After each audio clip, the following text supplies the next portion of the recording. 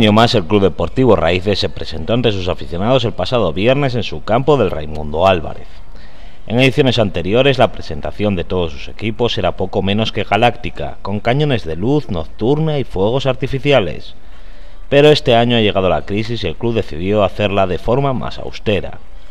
Pero la esencia continúa, y es que a pesar de la crisis, los recortes, el club sigue manteniendo sus 16 equipos, desde veteranos hasta equipo comarcal con niños de tan solo 5-4 años. En total, la familia del Raíces la componen 280 jugadores, que cada fin de semana van por toda Asturias llevando el nombre de la pequeña población castrillonense.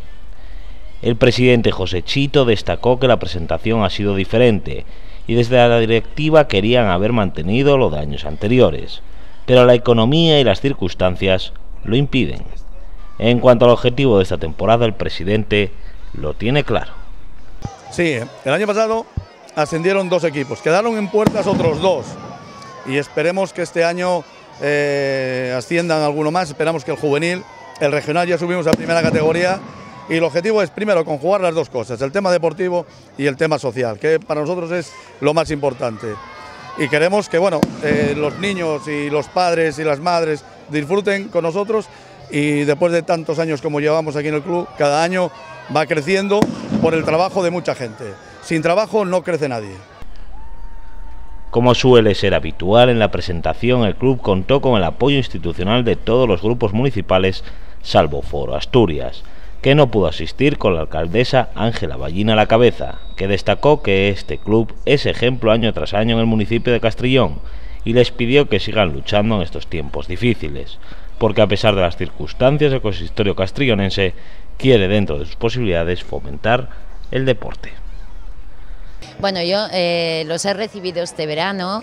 porque han subido de categoría. Yo creo que este club, lo digo todos los años, mucho ánimo porque de verdad lo trabajan, lo trabajan desinteresadamente y es un ambiente además estupendo el que tienen aquí y encima pues cosechando éxitos, con lo cual yo les pido que en tiempos difíciles arrimemos todos el hombro porque ellos son duros y además muy constantes y vamos a seguir manteniendo raíces. La presentación que contó como speaker con nuestra compañera Vanessa Parapar se desarrolló como suele ser habitual con el desfile de cada uno de los 16 equipos por separado y finalmente con voladores de fondo todos los equipos hicieron la foto de familia en el centro del campo con las autoridades y junta directiva